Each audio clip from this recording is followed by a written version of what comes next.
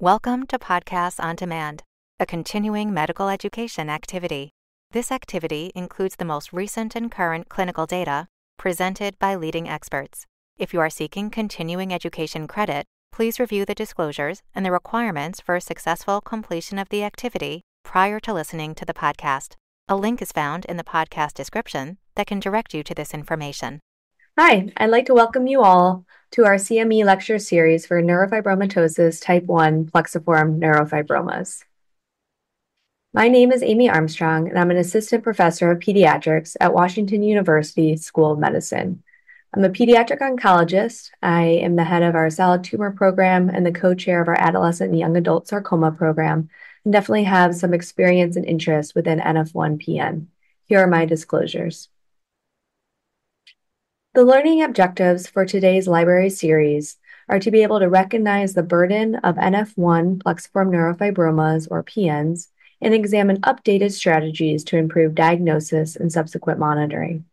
We hope to be able to evaluate practice changing evidence on available and emerging therapies for the treatment of NF1-PN and to identify best practice approaches to integrate recent progress and improve outcomes for diverse patients with NF1-PNs who have distinct needs.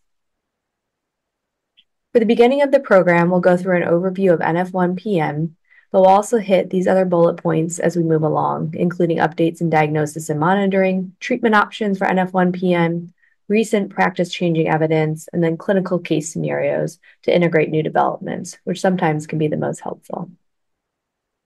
NF1 or neurofibromatosis type 1 is one of a few different neurofibromatoses that's caused by a distinct genetic mutation in the NF1 gene. It impacts about 1 in 2,500 or 1 in 3,000 live births with an equal distribution between genders. The cumulative risk of malignancy is 20 to 30%, which develops by the age of 50 in patients who have NF1. It's also, also the most common tumor predisposition syndrome. Additional neurofibromatosis um, conditions include uh, Legius syndrome, NF2 schwannomatosis, and then schwannomatosis, now otherwise specified, are 22q related, but other genes are impacted within those uh, disorders. NF1 in general is an autosomal dominant tumor predisposition syndrome, meaning if a parent has the mutation within NF1, there's a 50% chance that the child will inherit it.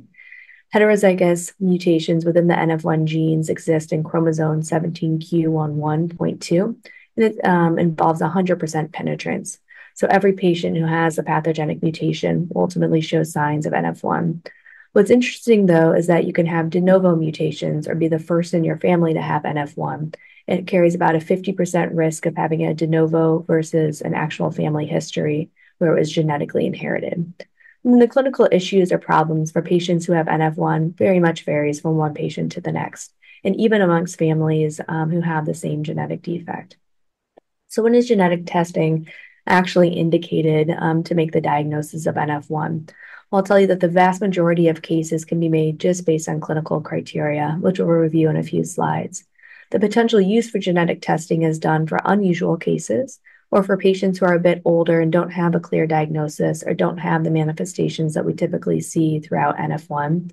If it informs therapy decisions, if there are other differential diagnoses that are included, or for parents who are thinking about conceiving and debating prenatal testing. Additionally, there's really a limited genotype phenotype correlation. So even if you do have a mutation within NF1, uh, the NF1 gene, we can't tell you exactly what clinical manifestations you're going to develop throughout the lifetime.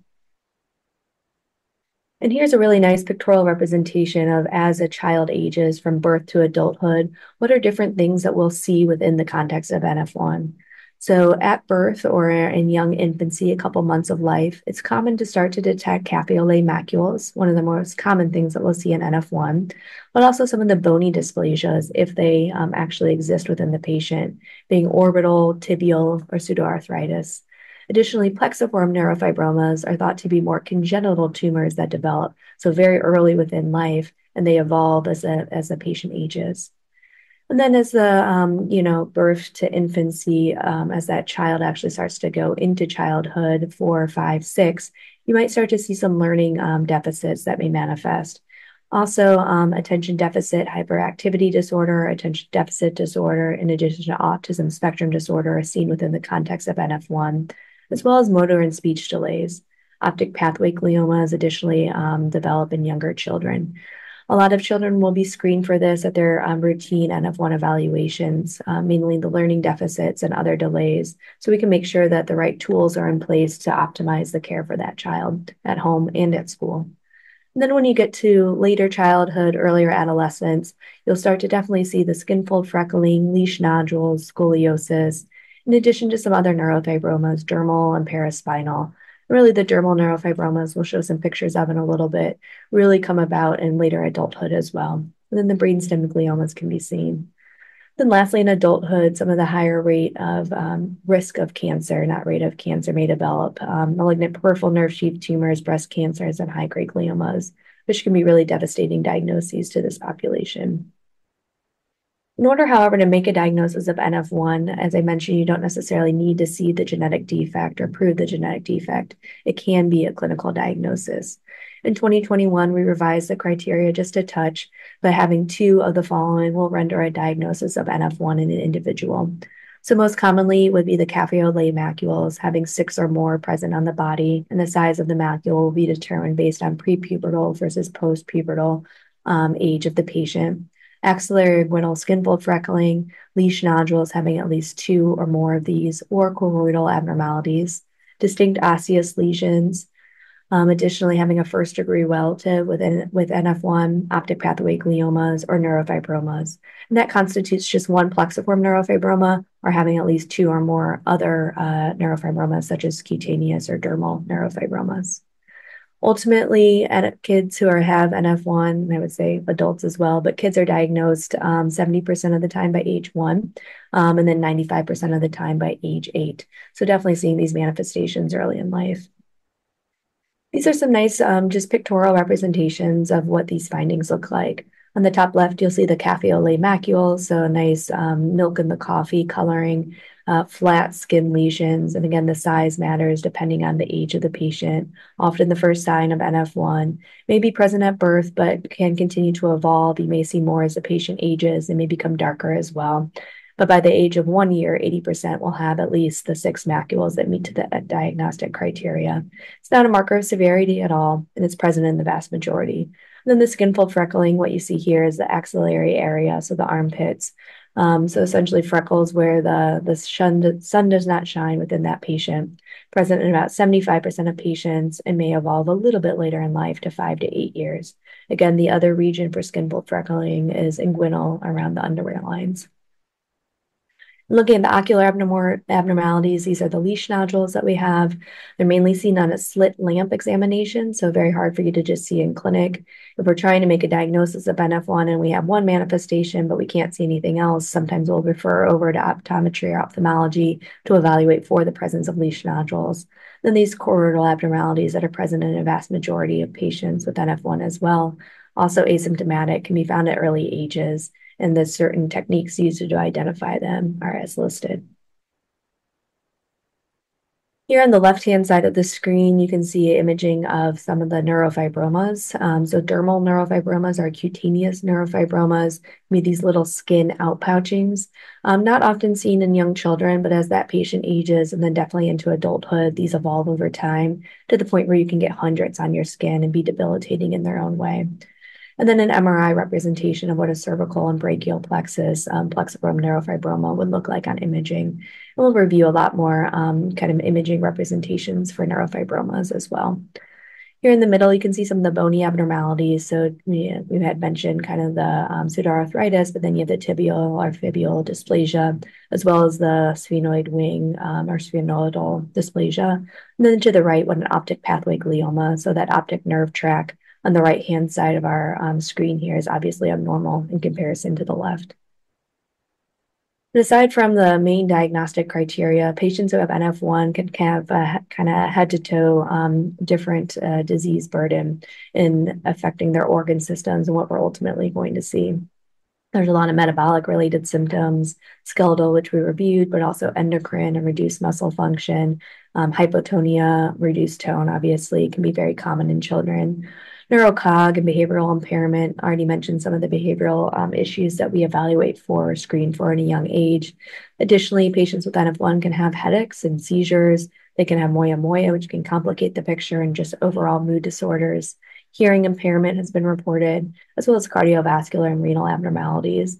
And so, in a patient who has NF1, especially those who we treat Uh, with certain medications nowadays that have blood pressure abnormalities, we also have to be aware that they're at risk for renal artery stenosis or other things that may kind of predispose them to having higher blood pressures. So, making sure the correct and thorough evaluations are done if we start to see clinical toxicity. Then moving forward to the tumors associated with NF1, the top of this list are more low-grade, or I'd call them benign tumors. The bottom of the list um, tends to evolve into more malignant or aggressive tumors.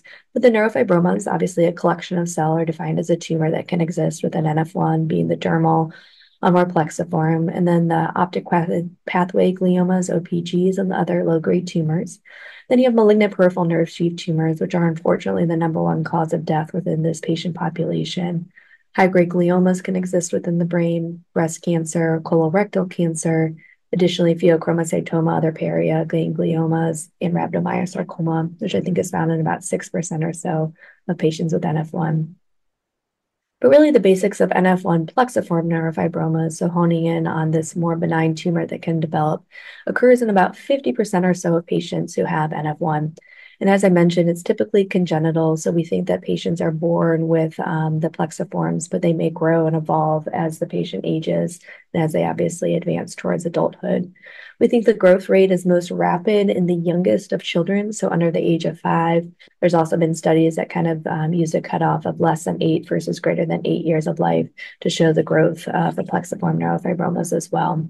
And what these tumors are are really a collection of cells that have been recruited by, uh, we call it tumorigenic Schwann cells. So the Schwann cell in a patient with NF1 has a heterozygous mutation within NF1, and then that second hit, which makes it homozygous, allows the cell, I would say, to act abnormally and start to recruit friends um, to the playground, more or less. So the Schwann cell will release cytokines. You get this pro-inflammatory response.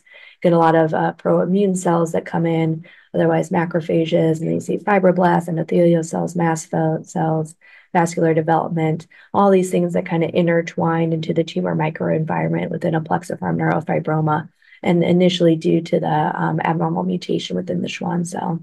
These tumors themselves can be highly infiltrated, so they can grow anywhere with where a nerve is located within the body. So you can think of a nerve on the face. You can think of a nerve root coming out of the spinal cord. You can think of something on the extremity, Um, really anywhere without uh, within the body. And they're somewhat slow-growing tumors in that they're not going to quickly uh, um, quickly evolve or grow out of their space, but they kind of grow around and through um, some of the vasculature, then obviously involving the nerves as well. I don't mean that they're disrupting the vasculature, but sometimes the vasculature will be intertwined within the tumor itself, which you can think would make resection really difficult. They tend to be multinodular. They look like a bag of worms, really hard to measure or discreetly look at when you're doing radiographic imaging. And then they can obstruct major organs and actually be life-threatening. So even a benign tumor is not always benign. Um, additionally, they can be very disfiguring depending on the location. And so we think about a tumor that may be in the neck and compressing the trachea, leading to airway compromise, versus a uh, tumor kind of more superficially on the face that you can't really cover up with clothing, and think about the different morbidities that a patient would have just due to those locations. And thinking of the disease burden of NF1-PNs, as I mentioned, um, they can definitely cause disfigurement based on the external um, prominence of some of these tumors.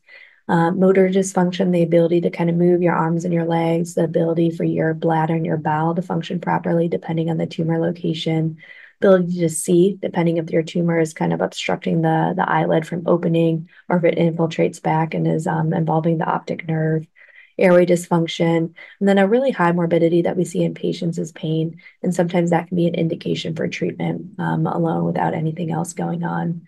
Most patients we know will have um, more than one plexiform-associated um, morbidity, and often this evolves over time. So, as the patient ages, their intensity of their morbidities or their number of morbidities may enhance as well. Um, the symptomatic PNs tend to be larger than the than the smaller ones. It's not always perfect, but it also means that not every PN that you see requires treatment because not all of them may be symptomatic. And then, as I mentioned, they're quote unquote benign tumors, um, but they do have the chance for malignant transformation throughout the course of a lifetime of somebody who has NF1. And that's found in about 8 to 13% of um, individuals. And I'll take you to this slide here because it takes you through what this transformational process would look like due to additional genetic mutations within the cells within that tumor microenvironment. So you see the path of it looks more or less like a benign uh, plexiform neurofibroma, and then additional mutations within CDKN2A and um, N2B loss leads to formation of an, a NUP or an atypical neurofibroma is what it used to be called. We call these pre-malignant lesions. Um, here at WashU, we call them ticking time bombs, um, needing to be removed because we we very much worry that these lesions will continue to evolve with additional mutations into a malignant peripheral nerve sheath tumor. Now, note that these genetic changes do not happen throughout the entirety of a plexiform neurofibroma. So it's often that one portion of the tumor will start to look a little bit different than the rest of it. And then that portion may be what has started to transform. And often patients who have MPNSTs did have a history of a plexiform neurofibroma. And again, it may not be the entire tumor that is abnormal or truly malignant, but a portion of it. And so it's our job to do our best with screening um, from an imaging and a symptomatic standpoint to try to intervene at the earliest stages possible if we are starting to worry about transformation. Now we'll move over to updates in diagnosis and actual monitoring for PNs, especially as radiology and our techniques have evolved over time. I'll admit there's no agreed upon definition um, for the diagnostic considerations, and we all do it a little bit differently. But in general, you do not need a biopsy or a piece of tissue to say that a patient who has NF1 with a tumor that looks like a plexiform on imaging is in fact a plexiform. Um, there have been times where patients who have no known NF1 diagnosis have come to us with a tumor that's resected or a tumor that's been biopsied. And then we try to figure out if there's an underlying NF1 mutation or not. Um, but often we're not biopsying these tumors. It does change a little bit if we're worried about a portion of the tumor, one just isn't acting right or um, looking like the rest of it, then definitely at that time we very much advocate for tissue and an understanding of what's going on. But otherwise, on imaging, they're pretty characteristic. And you've got some nice um, examples here of and this boggy bag of worms, a homogeneous uh, characteristic of these tumors, and how they are very infiltrative in what they grow around. And again, how a surgeon would have a really hard time going in and giving you a gross total resection just based on how these tumors ultimately form. For workup and screening considerations, all patients who have NF1 should be assessed for the presence of a plexiform neurofibroma. So we should all be aware that these do develop in this patient population and maybe in about half of the patients with NF1. But it doesn't mean that the first patient you meet with NF1 or a child needs a whole body MRI or anything to evaluate for it, it exists.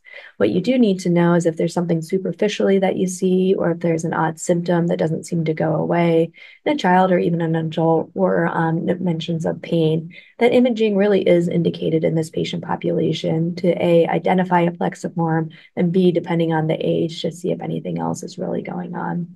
And then we'll continue to use imaging in order to monitor the growth and the evolution of these plexiforms over time standard evaluations for an NF1 patient, you know, typical physical um, history and physical neuro exam as well. Anything that seems abnormal, um, seems off to you, a bulge that you can feel, can definitely proceed to imaging for better identification. And then MRI is by far, by and far the modality of choice for characterizing these tumors to the best of our ability. We suggest you do it for symptoms that you see, um, or if there's something external that you see, it may inform treatment approaches. And then the baseline whole body MRI, um, you know, it may be useful uh, when we're transitioning uh, patients from pediatric to adult care. And I say that because the vast majority of plexiforms, as far as we know, exist in childhood um, or before a patient would transition over to adulthood. So at that point, if the patient does not have a known plexiform, doing a crude, quick screen with a whole body MRI may help identify if there is one that exists that then requires monitoring as that patient continues to receive care. Because again, as that patient ages, the, and if they have a plexiform, that risk for MPNST continues to heighten. So really understanding the underlying burden can be of benefit. I don't often do whole body MRIs in my very young patients unless we have very nervous families or we're trying to figure out a little bit more about the context of the patient. But we are starting to study the utility of whole body MRIs, but definitely not universally recommended to date. Then here's just a nice table going through our imaging modalities with the whole body MRI, the localized MRI, surveillance and treatment responses. Different acquisitions are put on here more for the radiologists who might be looking at this um, and through their imaging interpretation and really the main utility. But again, the whole body MRI is not as sophisticated. It's usually done without contrast. It's kind of a head to toe crude evaluation to say, is there something there that shouldn't be there? anatomically. And then usually if we see something, then the recommendation is to get a dedicated MRI. Here at our institution, we do with and without contrast. I'm very well aware that other institutions just do without, um, but just really understanding that diffusion restriction and if anything in the tumor looks a little bit abnormal can be a benefit, at least with our population. And then identifying um, nodular lesions, things within the tumors that seem abnormal um, can be helpful as well. For consideration of imaging modalities, we show the different um, type of modalities that are used, but we have screening, we have surveillance, and then we have treatment response. I would say for the treatment response, so if we have a tumor that we're ultimately using medical therapy, you know, ideally we want to be monitoring that tumor for ch- um, for change in size or any characteristics that are changing while we're on medication. Usually that interval will be different if the patient's on trial versus just using standard of care sometimes three to four months, up to I do six months for patients who are on um, targeted inhibition without other major concerns right now. If you're just surveying a plexiform uh, without intervening right now and you don't have any high risk concerns, sometimes just yearly imaging evaluations are, are definitely all that that patient needs. Now, all that being said, um, if you have a known plexiform or even not, and a new symptom emerges, um, in particular, exquisite pain for that patient, definitely doing imaging at that time to make sure that you're not missing anything is of vital importance. All right, moving over to treatment options for NF1-PN, which is a really cool time right now because I'd say in the past four years, um, what we're able to do kind of by ourselves off clinical trials has just, you know, that door has opened greatly. And it's really brought a lot of treatment to patients who otherwise would not be able to receive therapy for their PNs. And so the first question when you have a patient with an NF1-PN is, does it even warrant treatment? Um, so not every tumor does, and I want that to be one of the biggest take-home points from today, that the presence of a PN does not mean that that PN necessarily needs treatment. Um, but if we are trying to figure it out a little bit, you can either figure out if observation would be of benefit. Um, so is there not um, a significant morbidity that's associated with the, the tumor? Is the tumor not in a vital location? Um, is the patient 12 or is the patient two? Obviously, um, a two year old that has an arm plexiform that might not be causing major issues right now is at risk for pretty pretty decent growth over the next couple of years. So considering intervention may be a benefit versus a 12 year old and definitely a 20 year old where you would expect that growth rate to be a lot different. And then the treatment, what is our goal for treatment? So is the tumor causing anatomic compromise? Is it causing that airway obstruction? Is it causing neurologic or spinal cord issues? Um, then our treatment approach may be drastically different than if the tumor is causing pain or if it's disfiguring and we're trying to shrink it. Um, really understanding our end goals um, is of vital importance. And then really considering what evidence shows and suggests the PN um, related morbidity or tumor growth with impending morbidity. Um, and so when that patient walks through the door, you know, what are the pros and cons to treatment? Um, a lot of things go into my initial consultations with patients. They tend to take a while because the first question is if the patient needs treatment, and then if we're considering that that it's a, a possibility, what are all the things that go into what that treatment entails? That takes us to our next slide, where we're really debating between surgery versus medical treatment. Those are the main modalities that we have for addressing plexiform neurofibromas. When we think about surgery for plexiforms, um, the vast majority are not going to have a gross total resection, meaning that the surgeon can go in and take out the entirety of the tumor without causing more harm, more neurologic dysfunction, more pain, that kind of thing. But if a tumor is growing in an area that's causing other issues, you know, is taking or resecting part of the tumor, it, would that be beneficial for the patient? So those things kind of go into the initial surgical opinion. And then really understanding is that tumor inoperable or not? It's one of the words that we use um, when we think about then prescribing medical therapy that I know the insurance companies want to see. And as I said, the vast majority of these tumors are going to be inoperable in the sense that you cannot completely resect them. Um, here we quote about 15% of cases can undergo complete tumor excision, but I'll say more and more of the surgeons now are hoping that medical therapy can be used first. Um, and then understanding that if you do debulk the tumor or resect part of it, the risk of regrowth is actually pretty high. Um, we quote 43% here. I think in clinical practice, it may be a little bit higher. And I've definitely had patients who've had like an orbital tumor and it's had multiple surgeries or multiple debulkings, and the tumor just continues to grow back. And then they're coming to see me to see if there's anything else that can be done. And then again, with surgery, understanding the morbidities of those approaches. The medical treatment considerations. Um, when we talk about using a medication, and we'll definitely talk a lot more about the types of medications, we have to understand of how that would change for the life of the patient. So, A, the toxicities that exist, what to expect on a medication, how often now that you need to be under medical guidance or medical care. All things that are a little bit different if you are just coming in yearly for your initial evaluations. Um, the biggest thing, though, before starting therapy, especially medical therapy, is to make sure that you're not missing um, malignant transformation or malignancy within the tumor. So if a patient comes to you and all of a sudden they have pain within their plexiform, so they're now coming to you to talk about medical therapy, the first thing we really need to rule out, well, has something changed in that tumor that led to the pain that actually is a lot more concerning than just treating a plexiform neurofibroma in its benign state. Um, it goes without saying that treatment will be very different for malignant peripheral nerve sheath tumor versus an NF1 PN. And then considering the overall multidisciplinary care team as we're really thinking about the diverse care aspects. So you have your surgical care team, you have your medical care team, and then you have side effects from medications that can, you know, bring in your dermatologist or your cardiologist. Then you have the whole context of a patient who has NF1, which requires a much larger gamut of subspecialists to work with those unique manifestations that we see as well. So it's really not one provider that should be just managing these patients. Ideally, it's a care team, maybe one home provider that has the ability to work with others um, to really communicate the needs for that for that patient. And it's often that we might initially speak with a surgeon, might think that surgery up front isn't the right decision for that patient. Then we start medical therapy, then we see where things are at. But staying in really close communication can be of vital importance and really benefit the care of those patients. Surgical indications for NF1-PN. So sorry to allude to it on prior slides, but if you're having anatomic compromise, so neurologic issues, if you all of a sudden, eh, not all of a sudden, but if you have breathing issues, you know, those are reasons to consider going in with a surgical approach first.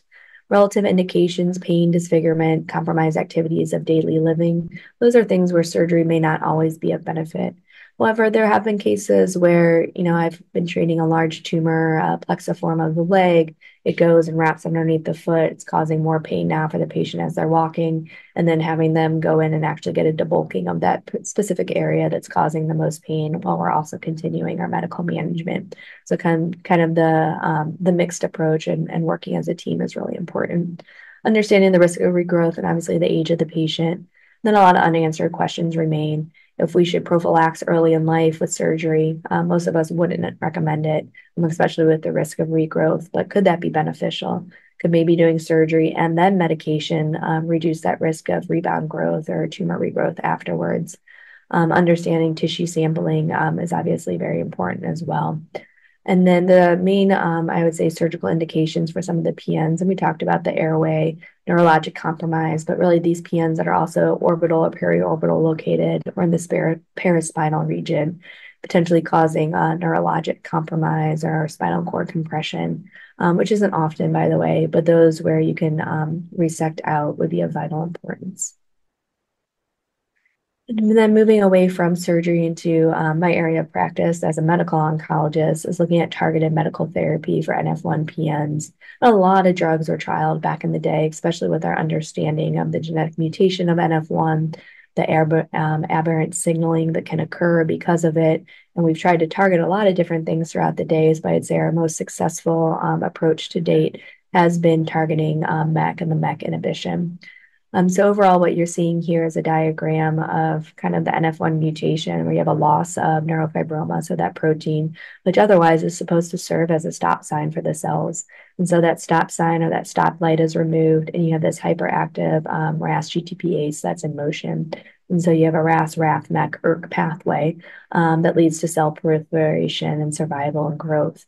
And so what's been studied here is MEK inhibition, so introducing that stop sign or that stop light um, more downstream with the pathway. And then we have a variety of MEK inhibitors now that are out.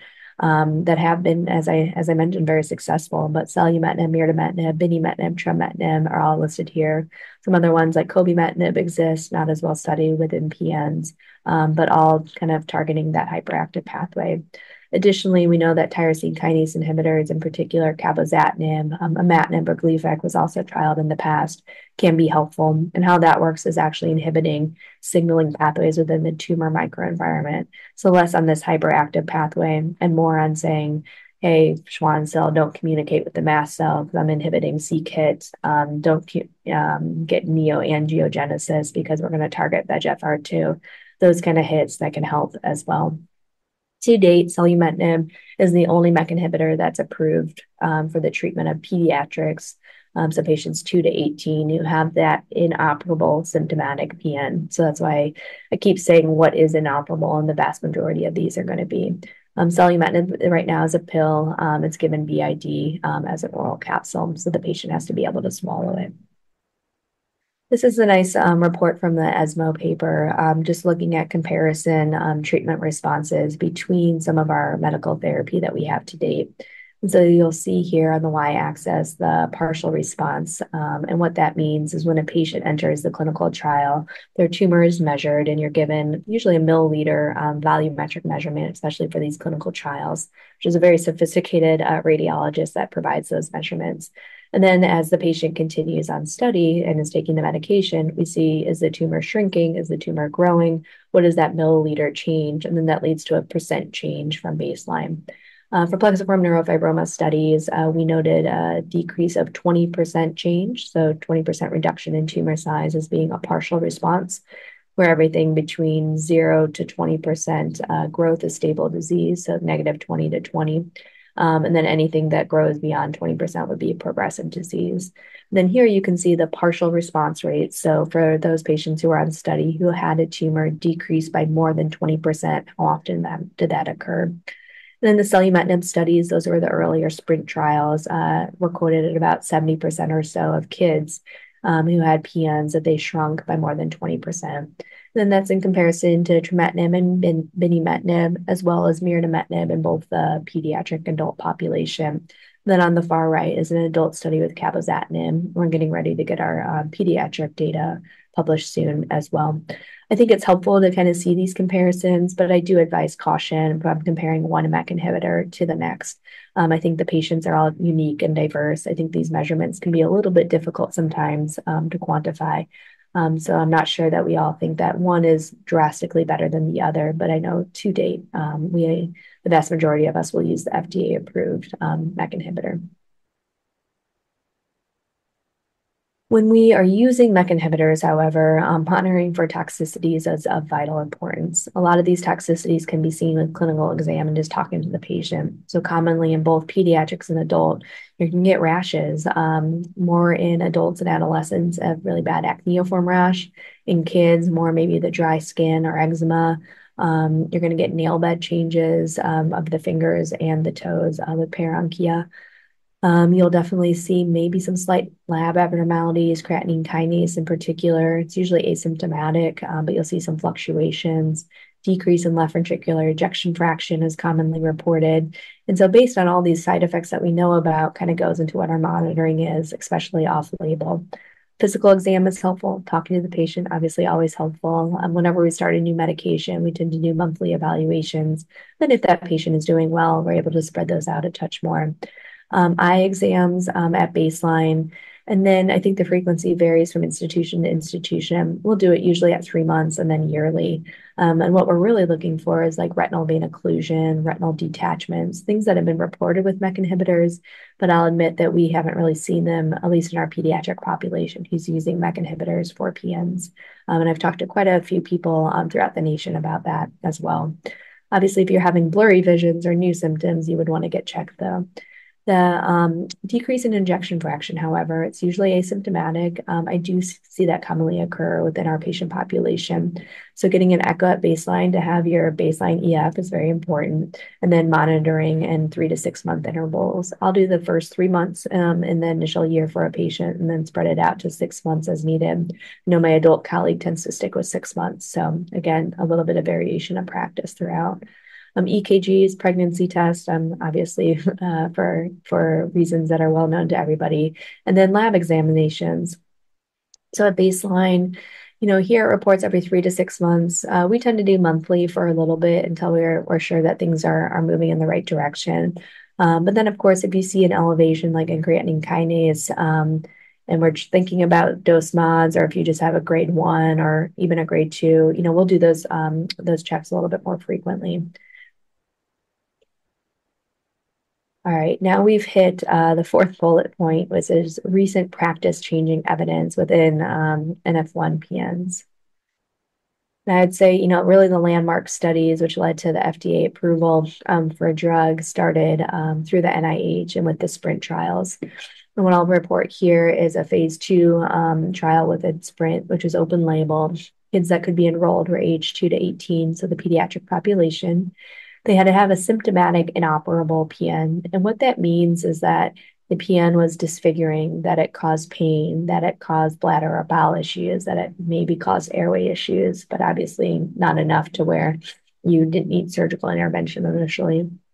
Additionally, progressive tumors um, usually are eligible for enrollment on studies as well. And then, no evidence of active malignancy um, is always an exclusion criteria for any study where you're um, coming in with targeted inhibition or treatment effects.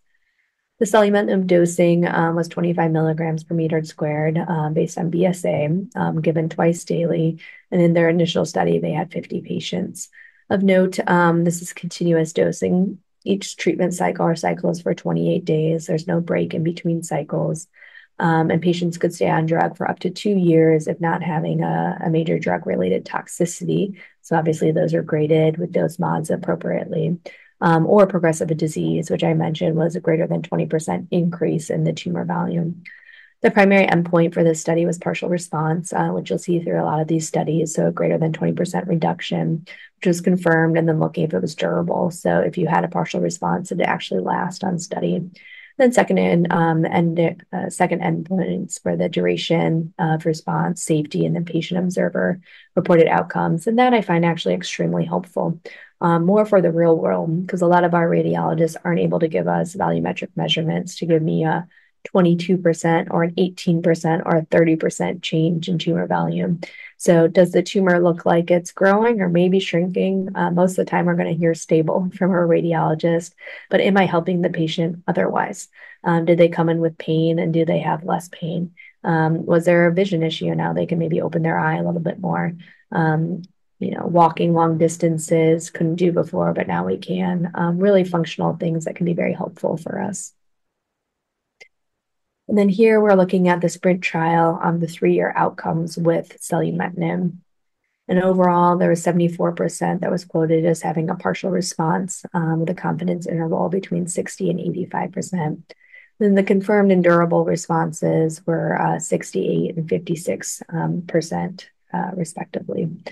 Time to response is eight to 16 cycles, um, and I think that that's actually very important to note. So the initial um, time to response was eight cycles, and then the best response was 16. What that means is a patient is on med for, I don't know, maybe eight months before we're identifying that initial uh, response. And I always tell patients, "You might start this, but you're not gonna see an effect overnight." So to be really careful with what our expectations are, and if you're tolerating the med okay, can you wait it out six months for our first set of evaluations? If we don't see much change in six months, Um, but I'm impacting other symptoms, those kind of things, we'll go into a continuation of therapy. But also to know that the depth of the response may increase as patients stay on study, um, or on drug for that case. And then here, um, in our line graph, you're looking at progression-free survival, and this is in comparison to the natural history study. So for three years of therapy, Um, your natural history PFS is is just 15%, so really dismal. But for kids who are on MEK inhibition, that's 84% on study, so pretty neat. Additionally, the median change in the tumor volume was 28%, um, so above that 20% threshold, but then about 28% reduction was on average what we were seeing. And then a lot of clinical meaningful decreases in pain of 74% for those who came in with it, so out of 19. Some degree in improvement in other complications. Um, I'd say about 70%, so seven in 10, and then improvements in function and quality of life. And all this, um, for somebody that's off study, goes into how we manage these patients. How are we benefiting their lives being on med? Are we making it worse by being on med due to the toxicities that they that they see, or are we making something better? And if we're making something better, how can we keep trying to do that, especially within the pediatric population? But importantly, I think the safety outcomes are really helpful. So how um, toxic are these meds? How often do we see these toxicities, and what to expect when you are prescribing them? GI side effects, very common: nausea, vomiting, diarrhea, the asymptomatic increase in CK, acneiform rash, um, paronychia, Uh, adverse events that led to dose reductions. So it happened in about 30% of patients, right? Um, it's pretty substantial, I think, when we're um, debating how we're dosing this medication. So 14 out of 50, then five that were due to drug-related adverse events. And then in this study, reason for treatment discontinuation. So they had progressive disease, um, adverse events that occurred or for other reasons. And then moving on from the combined data for the phase I/II trials that looks up to five-year outcomes of selumetinib um, in children with inoperable PNs. And in this combined cohort, we have 74 patients, continuous selumetinib dosing over a large number of cycles. And then who, those who remained on uh, on treatment at data cutoff were 31 patients. Um, about 70 had confirmed partial response, and 59% of these were durable. So sometimes you can have a partial response so that tumor shrinks nicely, but then on subsequent scans, you might see um, tumor regrowth um, even on medication. Then again, that time to response um, can take a little bit to actually see, as well as that best response. Uh, median progression-free survival is up to seven years. So that's pretty cool. And then a one-year probability of being progression-free after 60 cycles was at 61%. Moving forward to the ReNeu study. So this was with mirdametinib. Um, they did both a pediatric and adult cohort. Pediatric for them was 2 to 17, and adults were 18 and greater. Same indications for treatment, so NF1, progressive or symptomatic inoperable PN. The Mirdametinib dosing, I think importantly to note that there was one week off. so uh, 2 milligrams per meter squared BID um, given three weeks on, so 21 days in a row, and then a seven-day off period where you're not receiving any medications. And then these cycles were 28 days in total and then continuous for up to two years. Similar primary endpoints looking at partial response, and then secondary, the duration of response, uh, safety, quality of life, and physical functioning. It's very common themes that we're going to see amongst our studies. Here with mirdametinib, median duration of treatment was 22 months for both the pediatric and the adult cohort. Um, treatment-related adverse events that led um, to dose interruption in kids happened in about 30%. Dose reduction in kids was 13%, and discontinuation was 9%. That's in comparison to the adult population that had about 31% of dose interruption, 17% reduction, but then a discontinuation in 22%. Then looking at the most common um, treatment-related AEs, TRAEs, that happened in more than 35% of patients. In kids, you'll see the diarrhea, the vomiting, so GI side effects, then um, the acneiform rash. And then adults, again, this acneiform rash and GI side effects, all major reasons. I've heard sometimes that that um, seven-day off window can sometimes change the side effect profile for patients because their bodies sometimes get used to taking the med, and then the time period when they're off of it can be a little bit different. Um, I think that's going to be further studied within that within the group. And then key outcomes, I'm um, looking at the tumor response. So in kids, uh, 52% with a partial response, Um, and then in the adults, 41%. The duration of response was not reached. I can tell you most people that had response, it was continued for their period of evaluation.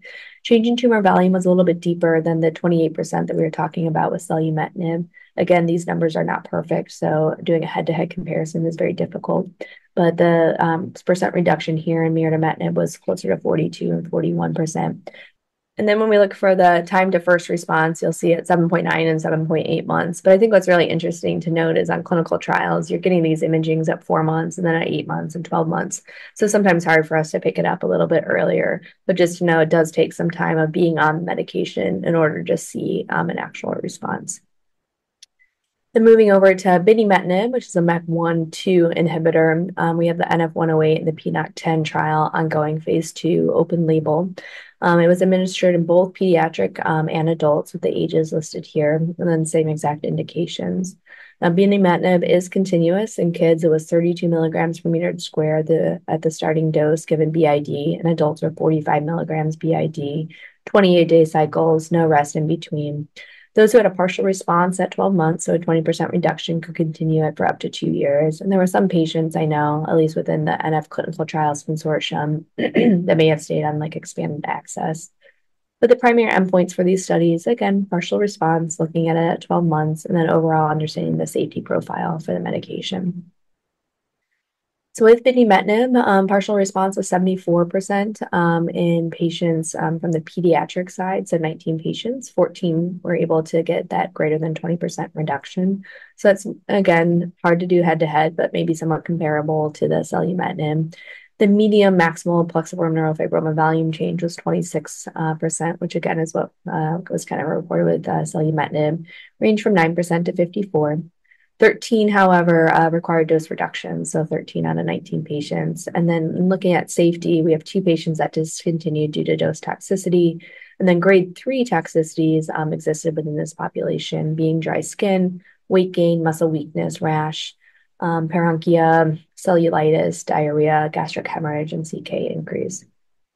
All right. And now switching gears, um, after we talked about the various MEK inhibitors that have been trialed, we'll look at the data from cabozantinib, which again, as I mentioned, was a multi-tyrosine kinase inhibitor where the goal was really inhibiting communication within the tumor microenvironment of a PN.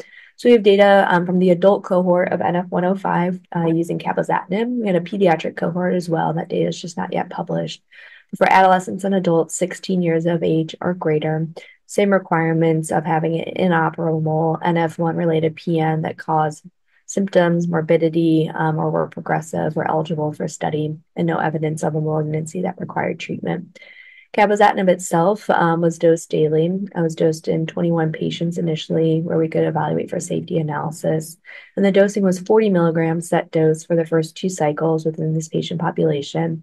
That after two cycles, could be dose escalated to 60 milligrams per day thereafter.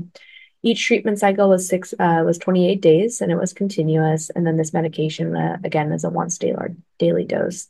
Patients could continue up to two years. Um, but here, there was a unique stopping rule that if by the end of cycle eight, there was not a 15% volume reduction in the target PN, the patient had to come off study. Um, by the end of cycle 12, there was not a partial response, the patient also had to come off study. And the goal is really to try to reduce exposure or potential side effects to patients if we did not feel like it was going to be effective for that population. Primary endpoint here was a partial response in 25% of patients after 12 cycles was the benchmark of what we were trying to achieve. And then key secondary endpoints being tolerability and safety and really understanding about you know type within this population, as well as patient-reported outcomes, pain, and quality of life. What we found um, for the 19 patients who were evaluable for response, again, the 21 patients who initially started, not all were evaluable, but 8 out of the 19 or 42% had a partial response or greater than a 20% reduction in tumor volume. Additionally, um, 58% had um, ultimately stable disease, which could be helpful depending on the progressive nature of these tumors coming in. The median plexiform neurofibroma volume change, however, was 16%, which ranged from 3%-38%. Seven patients required a dose reduction, and greater, um, and the most common adverse events that were found in greater than 10 patients or equal to 10 patients included diarrhea, nausea, and asymptomatic hypothyroidism. So, an interesting side effect that's actually well known by Exelixis and the use of cabozantinib, but patients did have to start Synthroid or thyroid supplementation in addition to um, fatigue and then um, this unique rash on the palms of the hand and the feet, palmar-plantar erythrodysesthesia, which can be actually extremely painful and sometimes we prophylaxed against. Patient disposition during study, uh, five patients completed all cycles. Um, There were six who ultimately had to stop at cycle eight due to the the stopping rule of not having greater than a 15% reduction. And then those who discontinued due to dose-limiting uh, toxicity included two patients and then six with low-grade adverse events. One thing I will say before um, I move on to our next slide is that this population of NF1 patients who have had PNs have been dealing with the PNs throughout their lifetime, especially when we're treating adult patients. Um, and so really understanding some of the toxicities from these medications versus how toxic the tumor is to them is a really interesting dynamic to see. And I feel that some of these side effects that could maybe be more tolerable in a patient with a more, I would say, aggressive or malignant condition to where if they weren't treated, something bad would happen. In this patient population, really understanding the risk-benefit ratio, I think, can be very beneficial um, for understanding treatment approaches. And then investigational agents for PN, um, looking at trametinib now. So we did a couple of our MEK inhibitors. We went to cabozantinib, and now we're back to trametinib, which is another MEK1/2 inhibitor. There are FDA-approved um, indications for trametinib. PN is not on the list, but melanoma, advanced non-small cell lung cancer, subsets of thyroid cancer. It's obviously um, for some of us who treat a variety of malignancies, often combined with dabrafenib, um, V600E mutations. and NF1-associated PNs, there was a trametinib that was used in a case series report um, with six patients and also in a phase I/II-A dose escalation trial. And so for patients who are on this particular trial, they were aged one month to 18, could be aged one month to less than 18 years with a median age of six years. Um, and to be eligible, have medically significant unresectable NF1-associated PN, so that inoperable. And based on interim analysis here, you can see that partial response occurred in 46% of those patients over a median duration of exposure of over 408 days, so over a year. And then the most common treatment-related AEs here with trametinib um, included rash and paresthesia um, as well. I think that the data that we have at hand is really helpful. I think um, understanding which drug to use can be very difficult. Um, sometimes working with the FDA and understanding what's been FDA-approved, what insurance will cover, what formulation makes sense. Um, you know, the toxicity profiles we think may be similar, but some may be a little bit more with one drug versus the other. Um, all those things go into consideration when we're prescribing for our patient populations. And but there are still obviously a lot of remaining treatment-related questions. Um, what is the impact of natural history, growth, and development of the PN? And are we inhibiting it by using our medications? And what happens also when medications are stopped or as the patient ages? Um, the impact on malignant transformation, it's been documented that patients who are on the SPRINT trial, who are on selumetinib, um, I think there were two patients, if I'm correct, who developed MPNST. So we know that being on MEK inhibition uh, regularly won't necessarily prevent that transformation from happening, but does it get in the way of it some? Um, or does there some therapeutic resistant that's, resistance that develops that could be problemsome later? We just don't know yet. The optimal treatment duration may be different in the two-year-old versus a 10-year-old versus a 20-year-old. Uh, and when is treatment uh, discontinuation possible? I think we could speak hours about these type of topics. And uh, again, each patient is unique. And so those decision points need to be tailored to the patient. Length of therapy to sustain the clinical benefit. Um, I'll see in kids, usually if I'm using um, medical therapy for pain, um, that when they come off the medication, often the pain returns, not just the rebound, but a little bit more chronic. Versus one of my adult colleagues seems that, you know, she'll use it for about two years if it's for um, some indications, including pain. And then sometimes that's all the patient actually needs in order to come off. So maybe a little bit different biology depending on the age. Then really better um, defining efficacy. I think these volumetric responses are hard. Knowing who's going to respond is hard. There will be circulating biomarkers that we can measure that might help us determine um, who would benefit from these type of therapies. All things that are being studied a little bit, but we don't quite know yet. Then long-term safety, that's the hardest one, especially for those who treat a pediatric population. What am I doing now that's going to impact this patient 30 years from now? And if they're on these drugs for 10 years, is that problematic? One year, um, trying to consider these things. Role of medical therapy with surgery, optimal sequence. So could you do a debulking and then start therapy to prevent regrowth? That's definitely something that we think about and then sometimes done in patients, but we just don't have clear-cut data for it. Potential of other MEK inhibitors in treatment-resistant patients. So if one patient failed a MEK inhibitor, will they respond to another? Um, I'll leave that as an open question right now. I think we all have have some thoughts, um, but it's not necessarily concrete that that would occur. Appropriate duration of follow-up and monitoring procedures. As I mentioned when I was going through the prior table, you know, the frequency in which we'll get some of these evaluations may differ from institution to institution, especially when the patient's off study, that impact on psychiatric conditions and quality of life, which really should be at the top of the list. So understanding the patient as a whole as we're trying to treat them. Then lastly, I'll try to close up here with just a few clinical case scenarios to integrate new developments. So hopefully we still have your attention um, and we'll be close to wrapping things up. Um, before we get to an actual case, this is just um, a nice figure of uh, the thought process that goes into our treatment recommendations for patients. And so, just at the top here, you found a PN in an NF1 patient. Are there symptoms or are there not? If there's no symptoms, then definitely consider observation, right? If there are symptoms or if there's organ compromise or potential organ compromise, Um, then maybe we should think about um, if if intervention is warranted for that patient. Then it goes to where's that tumor located? Is it the head and the face, the neck, the chest, the belly, the pelvis, the extremity, the spinal cord? All those locations will have different people that will weigh in, different surgeons, different symptoms that you may have, different care teams that are involved. So, really, again, kind of developing these relationships and communication with a variety of people um, that can become more expert in NF1 care is of vital importance. And then when we have the right team, we have the right organ system, we kind of know what we're addressing, is complete surgical resection possible?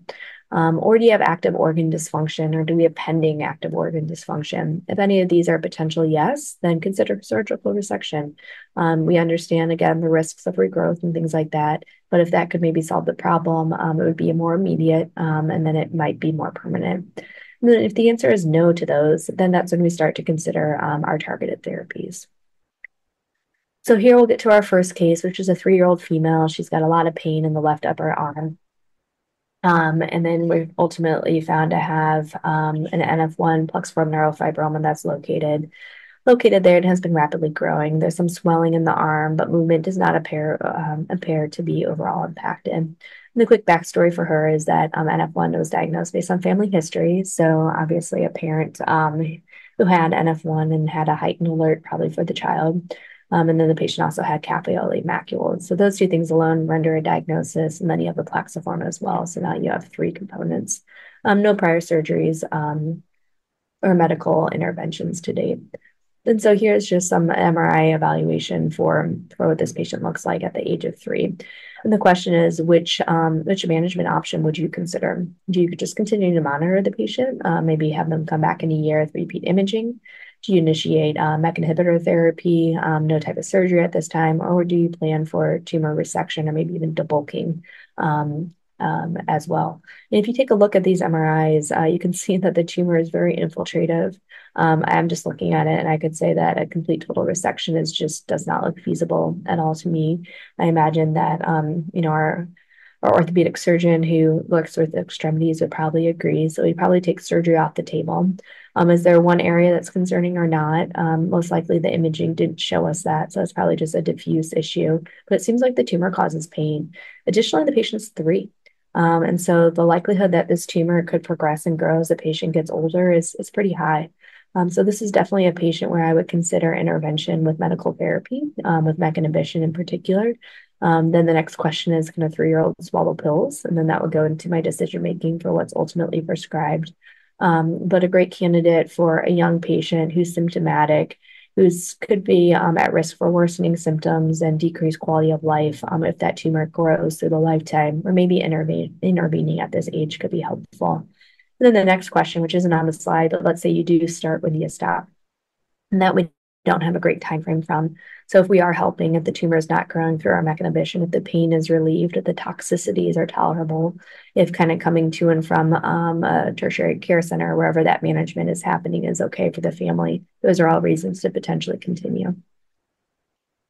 And then we'll move over to an 11-year-old male. So, different location. Obviously, again, these PNs can be anywhere. They can also look a little bit different. Um, but this is uh, a true case, and this is what the MRI imaging had looked like.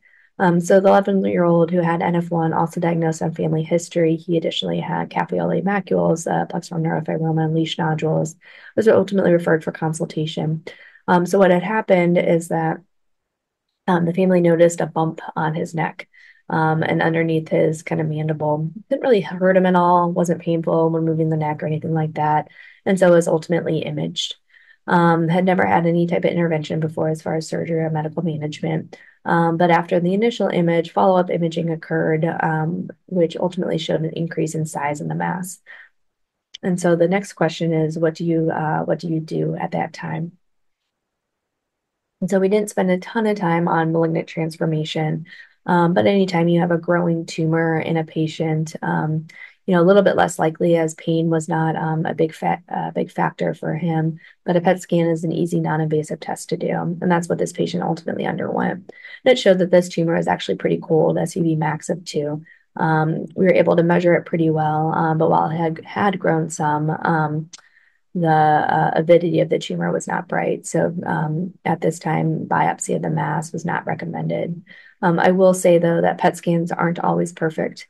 Um, there have been times when things that have been cold um, within plexiforms end up actually being malignant, while things that have been hot are just benign. Um, so just kind of understanding the the limitations of these evaluations. Um, and then I'll also add real quick that if there is any level of concern, biopsy is very helpful, especially if it's directed to the level of concern. But these tumors are very heterogeneous. Um, but understanding um, what type of approach should be taken, if it's biopsy, if it's just kind of a quick resection to remove an atypical neurofibroma, or if you need a real oncologic resection for an MPNST, all things, all of these things are really helpful with imaging and tissue. But in this particular case, so you have a growing tumor. He's now 11. The PET scan was overall reassuring. Um, presented his case at some of our tumor boards. Nobody really raised any red flags. Um, we didn't feel like tissue had to be obtained. And the question is, um, he wasn't really a candidate for surgical intervention, but what would you actually consider? Um, so you have a growing tumor. Um, would you actually treat it or would you monitor him? As I said, um, sampling definitely could have occurred. I don't think anybody would have um, been faulted if tissue would have been obtained and it could be in the in the future depending on the the what this tumor is to do that we consider it um, but really the question is do you treat with medical therapy um, understanding from the surgical's perspective that this is pretty inoperable in the carotid space right now to get the entirety removed um, and in his scenario, um, in meeting and t- discussing in depth with radiology, they said, hey, even if this thing grows a little bit more, it's actually not going to cause them any problems at all. There's a lot of space in that area. Um, and when the family heard that, and they also heard of the side effects of medications, um, and the kid otherwise completely asymptomatic, we decided to do close observation, and that's what we'll continue. Then lastly, we have an 18-year-old patient, and this is a patient who presents with recurrent uh, tumor mass and pain. And then first starting with her backstory, she was diagnosed with NF1 at age 11, uh, capillary macule, pseudoarthrosis, cutaneous neurofibromas, and one plexiform neurofibroma. Then at the time, she had a brain MRI that revealed a mass in the posterior scalp, um, and then also in the right peri- um, parieto occipital region without any other uh, brain or optic nerve abnormalities. At the age of 15, she underwent a debulking surgery, and the uh, anatomic pathology is indicated here, which showed a plexiform neurofibroma. So that was three years prior of the surgical debulking for symptom relief. Um, she had a tumor mass in the posterior scalp um, and in that region, which I already indicated, and that's what she looked like post-op. But now she's coming in with recurrent tumor mass and pain. the MRI um, is showing um, reappearance of lesion that was in the same location. I apologize that we don't have those images here. The mass is smaller than at the time of initial debulking. And the question is what to do. So you already debulked. Um, that was a couple years ago, and now you're back with uh, uh, recurrence of the lesion, which I said can occur in about 50% of patients um, and potentially painful for that patient. Um, so, do you consider tumor resection? Um, do you debulk again? Do you initiate medical therapy? Do you combine tumor resection with medical therapy? Um, all these options can be on the table. Um, the question is how easy is a surgery? How um, lack of morbidity uh, would it entail? And that's one question. If we, hey, it's considered, hey, let's debulk again um, or resect what we can, but maybe this time let's trial MEK inhibition um, to see if that prevents regrowth over a few years. That could be an option. Or if she says, I really want to avoid surgery this time around, then we could consider medical options. I think in something that's more superficial and that's already undergone surgery and now it's back, that treatment decision looks a little bit different. Um, but I'd say if we ever lean towards the debulking again, that potentially trialing some uh, medication to prevent regrowth would definitely be at the top of my list. Then overall, in conclusion, and we've you know we've made it towards the end, which is great. Um, but plexiform neurofibromas develop in up to 50% of patients with NF1 and are typically congenital or um, manifest in early childhood. Um, so again, when you're 20 and 30, we wouldn't expect necessarily a new a new plexiform to occur. Asymptomatic and um, symptomatic PNs that can often coexist in the same individual, so one is not like the other. The growth rate of a PN will vary between tumors across individuals and obviously across age ranges, which we talked a lot about. Most patients will have greater than one um, or one associated morbidity that can worsen over time without treatment. And again, these are benign tumors, but there's about a 10% risk of malignant transformation throughout the lifetime of somebody who has an NF1 associated PN. There's no agreed upon definition of a PN. A lot of us will just base this clinically and radiographically. Imaging plays a vital role in the management as far as surveillance, um, monitoring, initial diagnosis, and then when on treatment. Careful selection of treatment versus observation is really, really important to benefit, um, to maximize the benefit and obviously minimize the risk for that patient then surgical versus medical management should be in, uh, evaluated, really input from a multidisciplinary team. So understanding and working with a surgeon that has some expertise within NF1 and PNs can be a benefit to really figure out what options are on the table. Then decision re- regarding um, indications for and the scope of surgery need to be tailored um, to a lot of different things that we've already talked about. Um, but big things to um, put as far as a, a discussion, and sometimes these appointments are definitely not just 15 minutes, but really going through our treatment options.